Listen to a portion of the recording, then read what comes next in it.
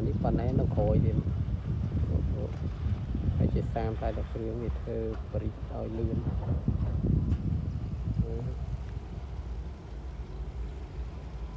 ផ្លាយធំ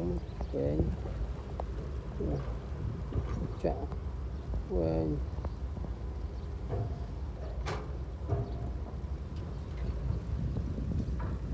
ទឹកដោះទឹកចេញឲ្យលឿនកុំឲ្យវាលិចស្ទះស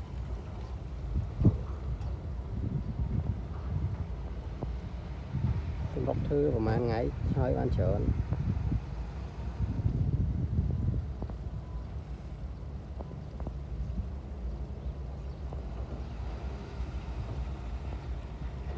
ចង់ស្មើបកគោពាក់រាបកគោក៏សនុកធ្វើ